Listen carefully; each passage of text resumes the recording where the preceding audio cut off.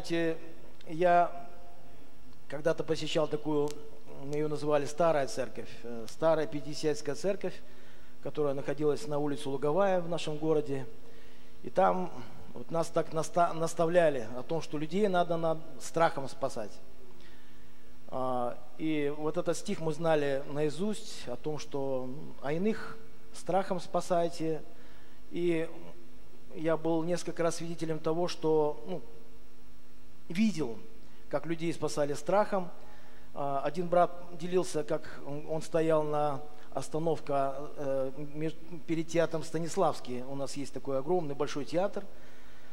А, И там две женщины на скамейке сидели и что-то говорили. Ну, так активно, вот, ну, просто, и ну, говорили о чем попало. Ну, просто там такая, как лагорея такая, ну, просто что-то лилось, лилось вот так из уст. И просто, и этот брат видит, что кто-то к ним сзади подкрадывается. И э, вот, ну, э, ну, такой, ну, в таких вот серых одеждах, он что-то смотрел, сперва прислушивался, как бы, что они говорят. Потом его лицо исказила какая-то такая гримаса, какой-то, знаете, вот ненависти даже, так сказать. И он уже подошел к ним, и между ними вот так встал, смотрел то на одну, то на другую, а те все, все говорят, говорят без остановки, короче, и он уже с такими глазами, и вдруг он как вот, как закричит вот так, покайтесь! И вот эти женщины, они вот так, знаете, они просто вот, просто, они в страхе, конечно, они, они испугались, потому что это было очень неожиданно. И говорю, что вы тут говорите, о чем вы вообще говорите? Э, э, Представляете, человек, мужчина видит этих женщин первый раз, Иисус грядет, Маранафа, покайтесь. И просто вот женщины так резко вскочили от него, говорят, вы что, мужчина, с ума сошли, что ли? Просто и, ну так, ретировались, убежали. И вот этот стих «А иных страхом спасайте», некоторых страхом спасайте, вот как-то вот на протяжении жизни я пытался как-то вот так применять ну, о том, что просто пытался как-то спасти кого-то, запугать кого-то. Ну, я каждый раз видел, что этот прием, он не работает. Он не работает. И я понял, что что-то не так, что-то или что-то с переводом, что-то не так, или ну просто вот, э, вот так нельзя. Вот. Сегодня я хотел бы, я сегодня обещал даже показать этот клип. Это наша братская церковь в городе Ташкент, где пастор э, Денис Подорожный. А, Этот клип называется «Худшая евангелизация». Это просто я хотел бы, чтобы мы это послушали, потому что это очень так наглядно и показательно. И э, я обещал, что этот клип мы покажем в воскресенье. Я буду дальше продолжать. Хороший пастырь Денис Подорожный. Я думаю, мы как-нибудь пригласим его в нашу церковь в город Варна, чтобы он приехал сюда с семьей, поделился словом, Пока звука не слышно.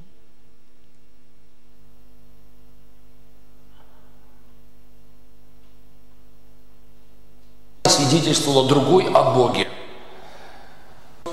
Я оказался однажды в ситуации, я такой урок извлек. Это был паспортный стол, я стоял в очереди, а, какие-то документы нужно было получить. И одна женщина стояла и свидетельствовала другой о Боге. Эту историю я запомнил раз и навсегда. Она была, знаете, есть такие дамы, которые, когда говорят о Боге, их голос меняется. Слава Господу! То есть, как бы она, когда говорит на кухне, у нее один голос, но когда святом, она начинала трепетно. Это полдела. Она была одета как верующая, на ней была косыночка, она так волосы были собранные, такая дамочка. И, и та женщина с сумочкой стояла и слушала само смирение. Я был восхищен этой неверующей женщиной, потому что она принимала все как данность, неизбежную, данную нам в ужасных ощущениях. Верующая свидетельство примерно так. Вот вы что думаете про себя? Вот вы думаете, что вы порядочная женщина? Так, ну так как бы, так подумала, подумала, ну как бы да. Она говорит, вы глубоко заблуждаетесь. Знаете, что говорит Писание про вас? И это было так мило и красиво. Знаешь, как тебя э, грязью так медленно и под музыку вымазывают. Она говорит, нет, знаете, что говорит Библия? И та так искренне очень. Что? Она говорит, Библия говорит, что вы гроб окрашенный. Да. Она говорит, я, да, вы. Вы исполнены костей мертвых. Вот я, к примеру, дитя Божье. А знаете вы кто? Она говорит, кто? Библия говорит, что вы дитё дьявола. Да, и бесы живут в вас, и вам нужен Иисус. А что мне делать? Она говорит, вы, вы должны принять Иисуса. А как? Приходите в нашу церковь, наш адрес такой-то, такой-то, со стальки-то до стальки-то. Знаете, мне в голове сразу, что Иисус именно там живет. После воскресения из мертвых он прямо с небес туда, по тому адресу, что только там и можно. Нигде же нельзя. И она, и вот она это все это рассказывает, та умиленно слушает, какая она окаянная грешница, как она отдала жизнь дьяволу, и грех ее опутал, а это рассказывает, какая она святая, и куда на правильное место прийти, чтобы все, в общем, изменилось. В этот момент в очереди появляется один мужчина, который решил на свою голову уточнить, готовы ли его документы. Он прошел всех нас, а я, благо, молчал. Я хотел сначала как-то помочь в этой проповеди Евангелия, потом я готов был креститься и говорить, Господи, спасибо тебе, что ты дал мне мудрость молчать. Он только открыть дверь, просто, знаете, есть люди такие, они говорят, я только спросить. И он думал, что он отделается легким испугом. Он говорит, я только спросить, и он только приоткрыл дверь. И вот тут случилось. И я потом долго размышлял, почему я не люблю фильмы фэнтези и всякие трансформеры, знаешь, когда преображаются всякие вот эти машины в, в монстров, монстры в машину, вот эти, вот, знаете. Я понял, это с тех времен пошло. Я это видел своими глазами. Эта дама, ангел во плоти, которая стояла, почти висела над землей в святости своей, вдруг в один момент, я смотрю, как это происходит, нимб уходит куда-то, крылья меняют конфигурацию, уходят, появляются рога, появляется хвост, она преображается уже другим голосом, это вы куда лезете? Он говорит, я, я только спросить, нам всем спросить. Он говорит, я только вот я уже стоял, мы все здесь стояли, мы уже час здесь стоим. Что вы здесь себе позволяете? Мы стоим в очереди уже час. Быстро встаньте в конец очереди, потому что сколько можно? Мы все уже устали. Я думаю, Господи, спасибо, что ты меня сохранил. Никто меня не распознал, не узнал. Аллилуйя. Я не запятнал себя тем, что был вовлечен в бесплодные эти, эти э, дела тьмы. Этот мужчина стал в конец очереди, потом как-то тихо, тихо, тихо ретировался, и нет его. Это женщина. Некоторое время она еще себя вела, знаете, как боксеры, которые до э, драки или после, они как-то еще у них так мышцы. Вот она также, что-то у нее такое было, какие-то движения. У нее желваки ходили, ходил мама, губа тряслась. Мышцы, знаете, брови вот так вот плавали. Только она не разминала пальцы, разве что. Но все остальное было. И вдруг вот это все меньше, меньше, меньше, меньше, меньше.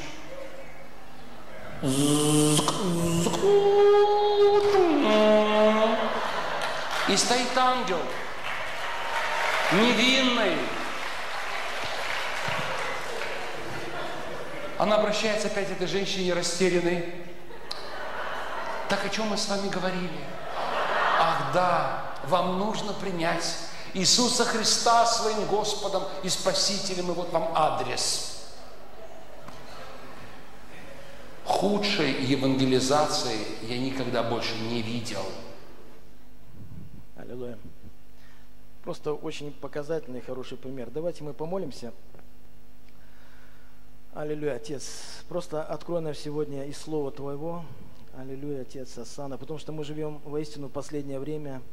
И чтобы нам и самим ходить в Царствие Твое, Господь Отче, и других вводить, Господь Отче, чтобы нам не стать препятствием на врата, Господь Отче, потому что фарисеи в свое время так себя вели, что и сами не входили, и ищущим ходить не давали входить в Царствие Твое, Господь Отче. Аллилуйя, Отец.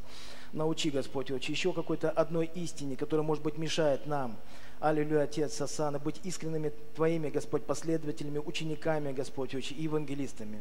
Хвала Тебе, всемогущий Бог, научи нас, как правильно, Господь Отче, нести Твое Евангелие, как привлекать людей к Тебе, Господь Отче, и как Просто, Господь, очень просто помогать им подходить к этой двери, который есть наш Господь Иисус Христос, который есть и путь, истина и жизнь. И, Господь, если только и входит в Царствие, то только через Него. Тебе за все слава, честь и хвала, Владыка, во имя нашего Господа Иисус Христа. Аллилуйя. Аминь. Давайте мы откроем это место. Оно написано в, э, в послании Иуды. Иуда это по историческим фактам родной брат э, Господа Иисуса Христа, э, один из младших братьев по плоти, один из тех братьев, которые не верили в Иисуса Христа как Господа при его жизни, пока он ходил по земле. Они поверили в Него как Господа только после его воскресения. Э, Иаков, брат, родной брат по плоти, Иисус Христа, который впоследствии стал руководителем церкви в Иерусалиме, и родной брат Иисуса Христа, как это вообще, ну, так немножко так звучит, конечно, родной брат Иисуса Христа, но это действительно так, это исторические факты. Иуда, а, который потом в последующем стал апостолом, одним из последователей Господа Иисуса Христа. И здесь а, именно в 22-23 стихе а, книга Иуды, Здесь написано, что «И к одним будьте милостивы с рассмотрением, а других страхом спасайте, исторгая из огня, обличайте же со страхом, гнушаясь даже одеждою, которая осквернена плотью». И здесь приводится стих «А других страхом спасайте». И мы сегодня задаемся таким вопросом, можно ли страхом спасать? Я хотел бы сегодня открыть современный перевод, который считается более подробным, более объективным, потому что взят после того такого длительного анализа э, древнегреческого языка. А, в современном переводе эти же два стиха звучат так. «Будьте милостивы к тем, кто сомневается, других спасайте, выхватывая их из огня». Третьим, проявляйте милосердие, но будьте осторожны, гнушаясь даже одеждой, оскверненной греховной плотью. Э, то есть в современном переводе даже такого э, э, слова, как страх, даже не упоминается. Просто написано, что иных спасайте, как бы выхватывая их из огня. Это современный перевод. Если более подробно рассмотреть э, синодальный перевод послания к Иуды, то это было в те времена, когда в церковь э, вкрались. Давайте мы поподробнее просто прочитаем. Э, с первого стиха написано так. Иуда, раб Иисуса Христа, брат Иакова, то есть это родной брат Иакова, того Иакова, который был руководителем Иерусалимской церкви, и он был также родным братом Иисуса Христа, но эти братья, они никогда не говорили о том, что они были родными братьями Иисуса Христа по плоти. Почему? Потому что а, я, в какой-то степени это было как смирение, в какой-то степени это было как тот шаг, что при жизни-то мы его не принимали. А, это был наш старший брат, но мы не считали, что... Ну, даже когда а, мать с братьями пришла, э, когда Иисус Христос проповедовал, совершил очень много знамений чудес, они пришли для того, чтобы взять его. А, в современном переводе они пришли для того, чтобы взять его как умалишенного, как будто бы он вышел из себя, как будто он был, ну, он позорил их семью, и они хотели его физически забрать, физическим образом. Ну, вот такая вот история. И эти братья, они стыдились говорить о том, что они являются братьями. Они считали себя рабами. Я хочу сказать, это то, рабами Иисуса Христа. Это тоже показатель смирения. О том, что мы, братья, мы знали его самого э, детства, с нашего детства. Да, это, он был во плоти, но теперь он наш Господь и он наш Бог. Да, они могли, как Филипп, засвидетельствовать, как Фома, засвидетельствовать о том, что он наш Господь. Теперь, с какого-то определенного момента мы видели, мы являемся свидетелями многим его, чудес, знамений. Самое главное, мы являемся свидетелями его воскресения. После этого мы почитаем его Богом, пришедшим во плоти. Мир вам и мир, э, милость вам и мир со второго стиха, и любовь да умножится. Возлюбленные, имея все усердие писать вам об общем спасении, я почел за нужно написать вам увещание, подвязаться за веру, однажды преданную святым – это было экстренное письмо Иуда, который также был один из руководителей церквей, и он оповещает, «Ибо вкрались некоторые люди издревле предназначенные к всему осуждению, нечестивые, обращающие благодать Бога нашего в повод к распутству и отвергающие единого владыки Бога и Господа нашего Иисуса Христа». Я хочу напомнить вам, уже знающим это, что Господь, избавив народ из земли египетской, потом неверовавших погубил. И ангелов, не сохранивших своего достоинства, но оставивших свое жилище, соблюдает в вечных узах под мраком на суд великого дня. Как Содом и Гамора и окрестные города, подобно им блудодействовавшие, блудодействовавшие и ходившие за иной плотью, подвергшись казни огня вечного, поставлены в пример, так точно будет и с теми мечтателями, которые скверняют плоть, отвергают начальство и злословят высокие власти – Смотрите, как точно а, описываются люди, которые, хочу сказать, что в это последнее время а, это, эти движения, они умножаются. Ну, то есть очень много появилось таких учений о том, что благодать на благодать нам дана, делай, что хочешь. Ничего не запрещено. Хочешь пить – пей. Хочешь блудить – блуди. Хочешь наркотики – пожалуйста. Мы благодатью спасены. Нам все можно. Ну, примерно вот такие вот учения, и это получает какой-то умножение в последнее время, и Библия об этом предупреждает. Последние времена по причине умножения беззакония во многих охладеет любовь. Михаил Архангел, который говорил, и вот э, эти люди очень часто ругают высокие власти. Они э, не признают никакую власть. А, они злословят э, с, очень часто самого Бога. Да кто там, что там? Михаил Архангел, который говорил с дьяволом в споре о Моисеевом теле, не смел произнести укоризненного суда против дьявола. Но сказал, да запретит тебе Господь. А сии злословят то, чего не знают. Что же по природе, как бессловесные животные знают, тем растлевают себя. Горе им, потому что идут путем Каиновым. Мы знаем, кто такой Каин. Тот, который убил своего родного брата Авеля, потому что позавидовал. Предаются обольщению мзды, как валам, и в упорстве погибают, как корей. Таковые бывают соблазном на ваших вечерях любви, пиршествуя с вами, без страха уточняет себя. Это безводные облака, носимые ветром, осенние деревья, бесплодные, дважды умершие, и исторгнутые. Можно, оказывается, дважды умереть, да? О том, что человек может умереть во время водного крещения, и потом человек может умереть для Бога, отпав от Него. Библия этих людей называет дважды умершие, умершие для Бога, и это очень страшно. Страшно почему? Потому что эти люди уже больше не могут покаяться, эти люди уже не могут возродиться вновь. Свирепые морские волны, пенящиеся с рамотами своими, звезды блуждающие, которым блюдется мрак тьмы навеки.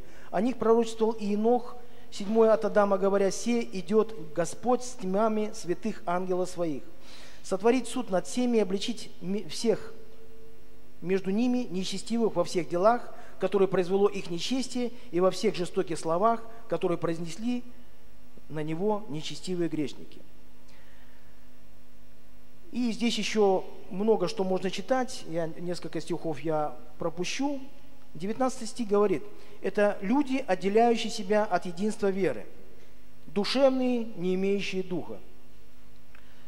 А, Знаете, на самом деле я сталкивался очень часто, когда пастыря отлучали людей от церкви, предавали их анафе- анафеме, мы еще застали такие времена неспокойные, когда было очень много лжеучений, и мне приходилось э, в какой-то степени кого-то отсоединять. Но я хочу сказать, что мы сейчас живем в такое время, когда э, люди, они сами себя отделяют от единства веры. То есть они просто себя отделяют тем, что они просто отдают себя не тому образу учения, а просто уходят.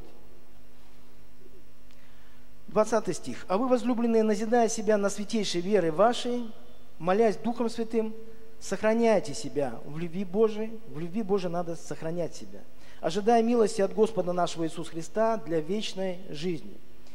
И к одним будьте милостливы с рассмотрением, а других страхом спасайте, исторгая из огня, обличайте же со страхом, в другом месте написано, э, со страхом и трепетом, наблюдая за собой. А, Вот это тоже очень хорошее место, которое говорит о том, что это не то, что кого-то надо страхом спасать, это э, спасение совершается в страхе, в трепете перед Богом, наблюдая за собой. Потому что очень часто люди, которые только новородились в церкви, они наблюдают за пастырями, за теми, кто уже давно уверовал, или те, которые, ну, просто постарше. И если они видят в них какой-то недостаток, это служит им к поводу ну, делать еще более худшие вещи или вообще просто уйти из Церкви Божией. А, Мы не должны подавать повода ищущим повода. Могущим же соблюсти вас от падений и поставить пред славой своей непорочными в радости. Единому премудрому Богу, Спасителю нашему, через Иисуса Христа, Господа нашего, слава и величие, сила и власть, прежде всех веков, ныне и во, вс- и во веки. Аминь. И мы можем сейчас, я почему прочитал эти стихи, чтобы просто вы убедились, в каком контексте, потому что ну, мы знаем, что вырывать просто стихи из контекста, это не совсем правильно. Когда мы видим о том, что просто писалось какое-то экстренное а, послание руководителям церкви Иуды в какие-то определенные такие церкви, которые находились также в рассеянии, мы можем видеть о том, что, э, в принципе, апостол Иуда писал не, не вообще о спасении, а о том, что кого-то спасти.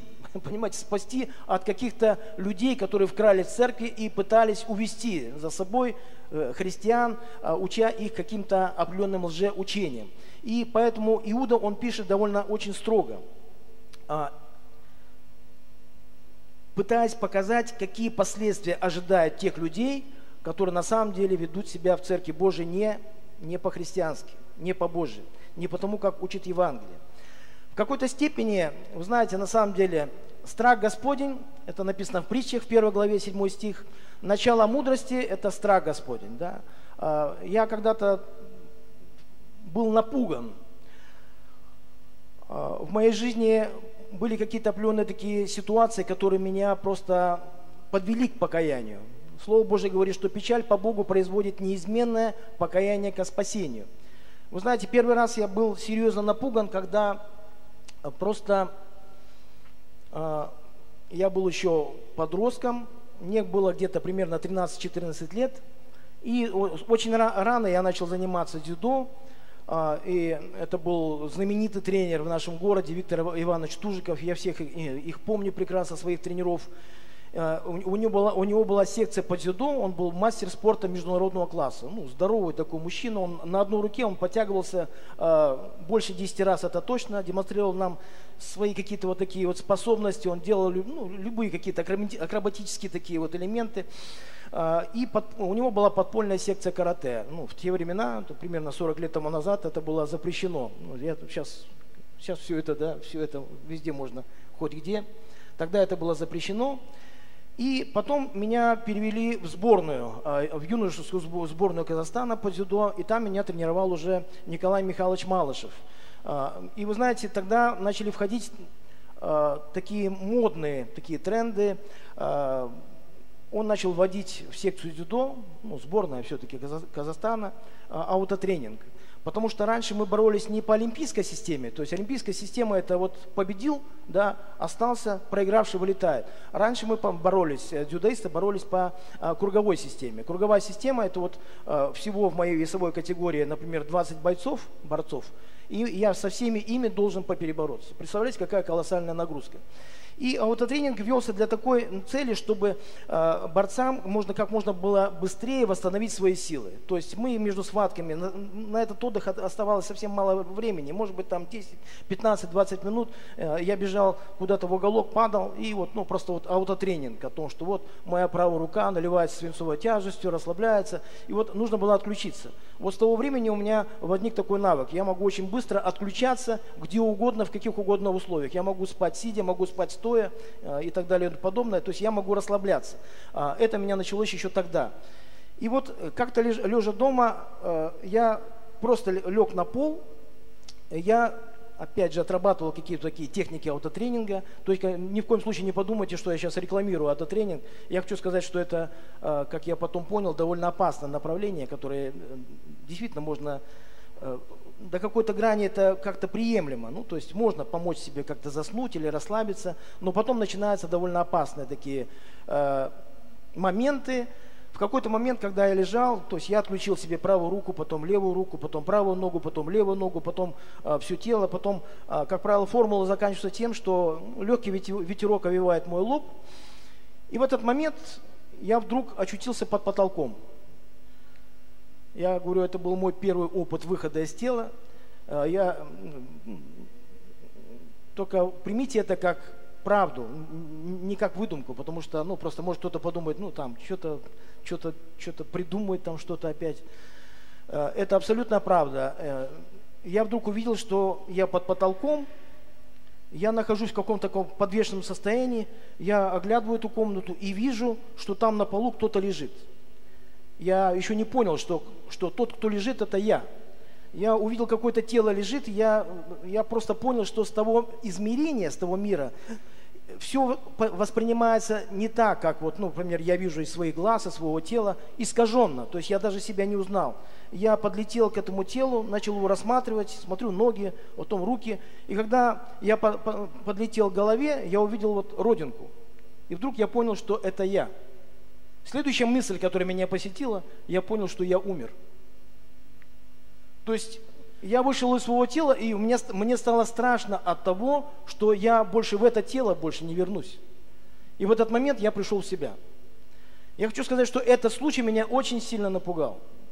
Во-первых, я задался таким вопросом. Если я могу выходить из своего тела, то мое тело это не есть я. Аминь. Это не есть тело. Ну, раз есть тело, могу выходить, значит, то, тот, кто я, это тот, кто может выходить. Это более какая-то тонкая материя, да. Я просто понял, что есть что-то, какое-то более, что-то более утонченное, что-то более эфирное. Я начал тогда исследовать научные какие-то вот такие вот э, статьи, э, потом начал читать, ну, всю духовную литературу в плане того, что, что может выйти из тела. Да? И, конечно, я накопал очень много ну, всяких различных знаний, и потом увлекся эзотерикой, потом увлекся экстрасенсорикой. И, но вот этот страх того, что придет время, мое тело умрет, а вот то, что оно выходит, куда оно потом пойдет.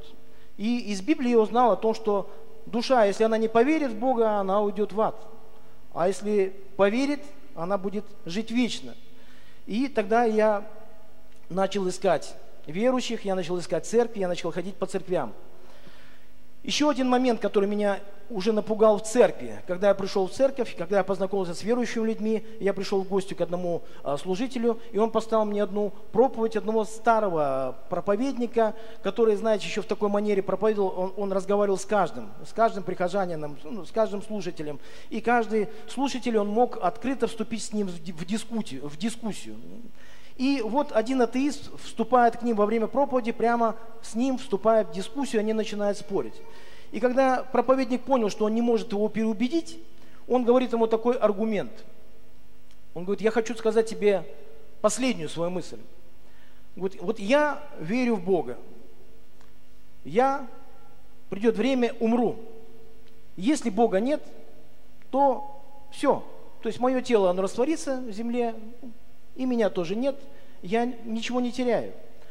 Но если я верю в Бога, и если я умру, моя душа, она идет на небеса, к моему Господу Спасителю Иисусу Христу, а твоя душа идет на вечно, вечную погибель. Я услышал эту мысль и очень хорошо усвоил. Я сказал так, Господи, ну, мне страшно, потому что ну, если я сегодня безбожник, если я не верю, не, не, не доверяюсь тебе, если на самом деле Бог есть, то после, ну и так далее. Эта мысль, она заканчивается во мне. Еще один такой страх, который когда-то меня побудил к тому, что я начал искать Бога, начал укореняться в Нем. Я хочу сказать, что это действительно тот страх, который меня побудил э, искать Бога, начало мудрости. Я начал просто постигать мудрость, премудрость Божию. Но Слово Божие говорит о том, что страх Господень – это только начало мудрости. Да? Ну, какой же конец? Какой же конец? О любви Божией написано так. В послании Колося, Колоссянам апостол Павел пишет в 3 главе, 14 стихе, о том, что любовь Божья есть совокупность совершенства. Помните, да? Мы со страха, мы можем только начать. Мы можем только начать постигать Бога, это дает нам какую-то стимуляцию, какой-то толчок. Но сегодня моя основная мысль, что мы не можем страхом спасать. Страх не спасает. Страх не является каким-то таким мотивирующим началом и э, особенно концом. Я не могу страхом в конечном итоге окончательно спастись. Страх, он только в начале хорош. И вы знаете, эта проповедь, она сегодня очень актуальна, потому что все еще есть церкви, где люди постоянно пребывают в страхе. Постоянно пребывают в страхе, где постоянно идут учения, которые запугивают людей, прихожан о том, что вот это страшно, вот это страшно, туда пойдешь такое, туда пойдешь это. А, мне хотелось бы к другому привести. В конечном итоге, что нас спасает? Давайте мы откроем, откроем одно уникальное место, оно написано в послании к римлянам. Вторая глава,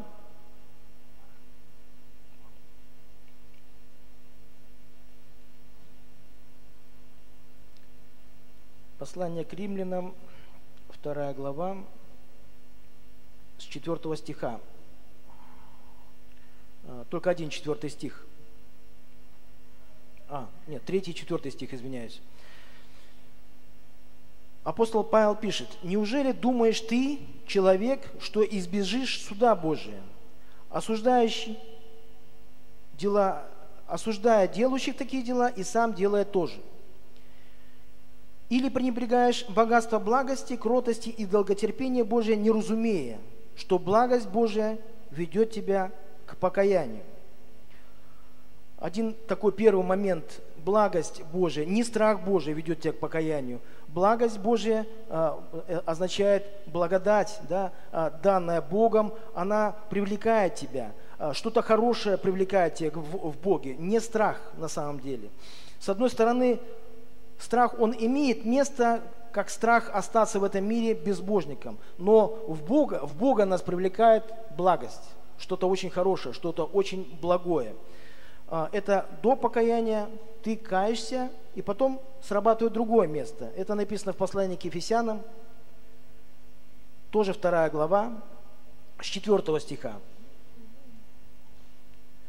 Также апостол Павел пишет – Бог, богатой милостью по своей великой любви, которую возлюбил нас, и нас, мертвых по преступлениям, оживотворил со Христом, и написано так, благодатью вы спасены.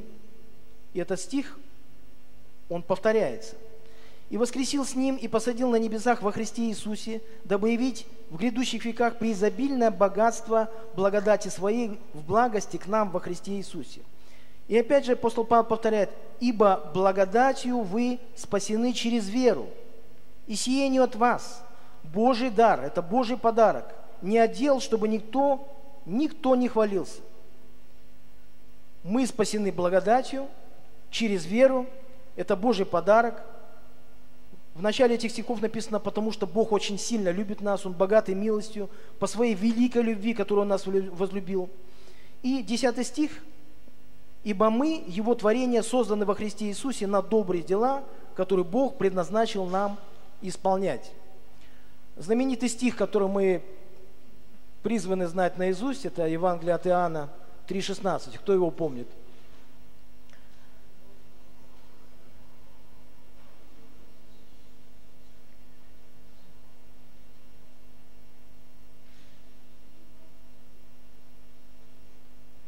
Давайте мы его слов вместе прочитаем. «Ибо так возлюбил Бог мир, что отдал Сына Своего Единородного, дабы всякий верующий в Него не погиб, но имел жизнь вечную. Аминь. Но я бы хотел сегодня обратить ваше внимание на последующие стихи. Дальше апостол Иоанн продолжает. «Ибо не послал Бог Сына Своего в мир, чтобы судить мир, но чтобы мир спасен был через Него». С большой буквы то есть через Иисуса Христа, через Сына Божия. Верующий в Него, то есть в Иисус Христа, не судится, а неверующий уже осужден, потому что не уверовал во имя единородного Сына Божия. Суд же состоит в том, что свет пришел в мир. Свет уже пришел в мир, уже две тысячи лет тому назад он пришел в мир. Но люди более возлюбили тьму. Люди прекрасно знают, где тьма, и прекрасно знают, где свет. Почему же они возлюбили тьму? Потому что дела их были злы. Ибо всякий, делающий злое, ненавидит свет и не идет к свету, чтобы не обличились дела его, потому что они злы. А поступающий по правде идет к свету, дабы явны были дела его, потому что они в Боге соделаны. Аллилуйя. Апостол Иоанн нам четко объясняет о том, что когда мы приходим к Богу, к чему мы призваны, кем мы спасаемся. И здесь очень четко Библия говорит о том, что мы спасаемся только через единородно, единородного Сына Божия. Слава нашему Богу. Еще одно место, которое я хочу сегодня открыть, оно написано в первом послании Тимофея. Первое послание Тимофея. Я уже иду к концу. Первая глава, 15 стих. Мне очень важно прочитать все эти стихи, чтобы мы были укоренены, что это не просто там кто-то сказал, это в Библии написано, это Евангелие говорит, это Слово Божье, которое неизменно, оно не изменится уже. А, изменить это невозможно. То, что Бог совершил во Христе Иисусе, уже никто больше не совершит. Это единственный Спаситель. Первое послание Тимофея, 1 глава 15. «Верно и всякого принятия, всякого принятия достойно слова, что Христос Иисус пришел в мир спасти грешников – из которых я первый. Апостол Павел пишет о себе, что я первый грешник. У него глубокое сознание своей греховности. Несмотря на то, что Бог его простил во Христе Иисусе, он всегда помнил о том, что кем он был. Он был, ну, на самом деле, он был гонителем церкви, он был убийцей, он был преследователем. А, это был страшный человек. Он, по ревности он был религиозным фанатиком, он готов был убивать христиан, сажать их э, в темницы, заставлял их хулить Святого Духа, совершать самый страшный грех, который считается непростительным. И он принят во Христе Иисусе. Но для того я и помиловал, чтобы Иисус Христос во мне первым показал все долготерпение в пример тех, которые, которые будут веровать в Него к вечной жизни. И последнее место, которое сегодня хочу открыть, оно написано в книге Деяний. Давайте мы все вместе откроем. У кого нет, вы можете смотреть, читать на проекторе. Книга Деяний, 4 глава, с 5 стиха.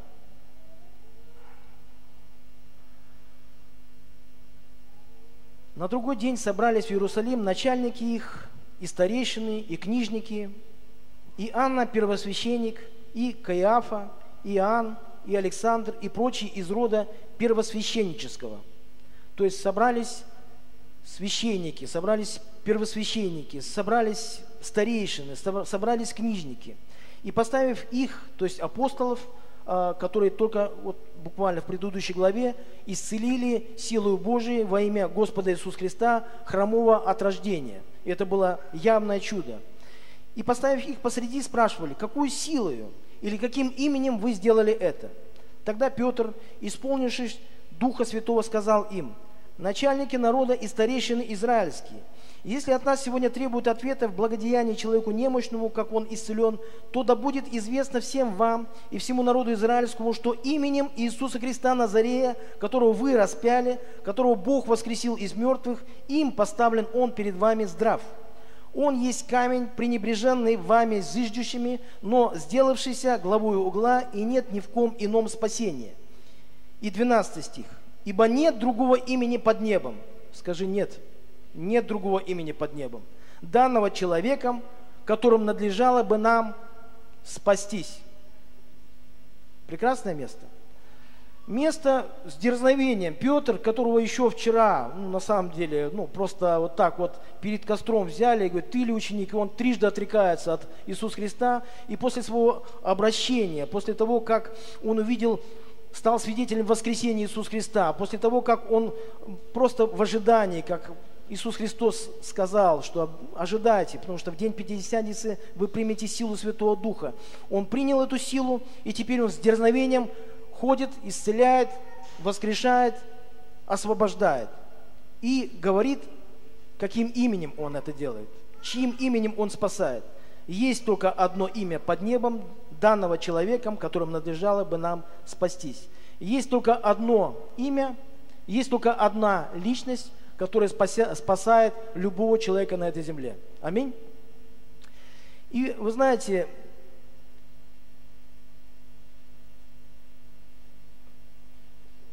сейчас по всему лику земли идет мощнейшее пробуждение.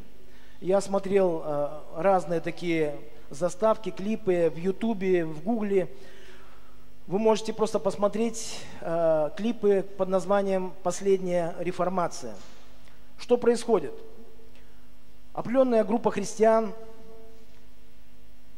выходит с дерзновением на улицы и просто предлагают любому человеку, прохожему, хотите ли вы, чтобы сегодня мы помолились за вас? И люди спрашивают, а зачем вообще? Ну, у вас есть какие-то проблемы, у вас есть какие-то физические недуги, у вас есть какие-то болезни, вот сейчас, которые вот, вот в вашем теле могут каким-то образом проявляться – ну, кто-то говорит о том, что вот у меня вот нога болит, у кого-то кто-то говорит, что у меня вот сустав поврежден, кто-то говорит о том, что вот сейчас прямо есть какие-то головные боли. И эти люди начинают с дерзновением молиться во имя Господа Иисуса Христа. И тут же мгновенно происходит исцеление.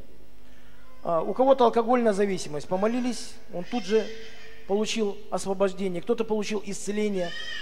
И после этого они начинают рассказывать, что имя Иисуса Христа обладает колоссальной властью. И после этого люди приходят в церковь, и потом уже на самом деле начинают возрастать Боги. Это движение последней реформации, оно на сегодняшний день просто нам демонстрирует о том, что имя Иисуса Христа, оно и сегодня имеет силу, оно и сегодня имеет власть, оно и сегодня спасает, оно и сегодня исцеляет, оно и сегодня освобождает, оно и сегодня воскрешает. Вам только надо в это поверить. И надо просто получить вот это дерзновение. И э, вот это движение последней реформации говорит о том, что хватит уже сидеть в своих коробочках, хватит сидеть уже в своих церквях. Пора уже выйти и показать, продемонстрировать всему этому миру о том, что имя Иисуса Христа и сегодня обладает колоссальной властью. Оно и сегодня спасает.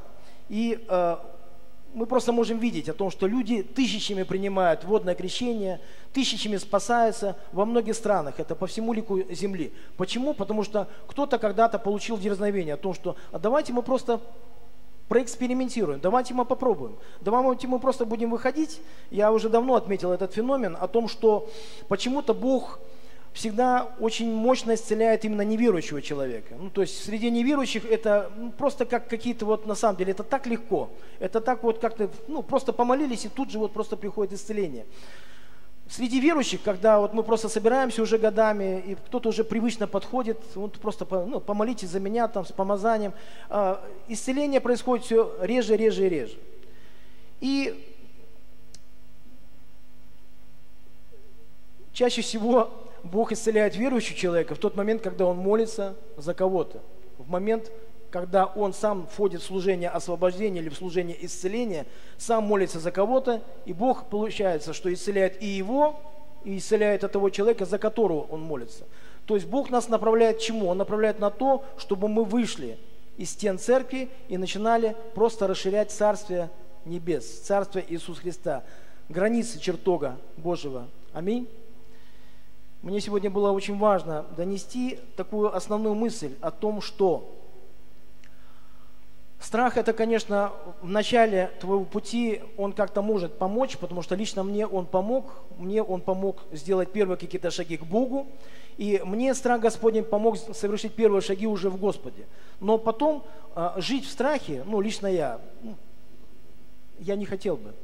Я не хочу, я из этого вышел. Мы, ну, несколько может быть, какой-то период э, ходили в церковь, где ну, все было вот так на страхе. Но апостол Иоанн пишет, что боящийся несовершен в любви. В страхе есть мучение. Помните эти места? Это написано в первом послании от Иоанна. Боящийся, человек, который живет в страхе, он несовершен в любви он ограничивает, он сковывает человека. Это похоже на то, что как человек просто вот забили его куда-то вот так в колодец, и он вот так вот весь вот в этом колодце вот так сидит, и он боится, он боится поднять руку, боится поднять свой голос, боится куда-то шаг сделать, он живет в страхе. Такой человек, он становится бесполезным для Божьего Царства, потому что он парализован, парализован вот этим страхом. Но совершенная любовь, что написано, изгоняет страх. Аллилуйя. Лучше жить в любви, который изгоняет всякий страх, чем жить в страхе бесконечно и быть совершенно таким обезоруженным. Я верю в то, что в Церкви Божией до каждого из нас должно просто вот так, четко открыта истина. Мы приходим к Богу не из-за страха. Ну, в конечном итоге нас привлекает в Боге что-то хорошее. Нас привлекает в Боге Его любовь. Бог есть сама любовь, написано, да? Бог есть любовь.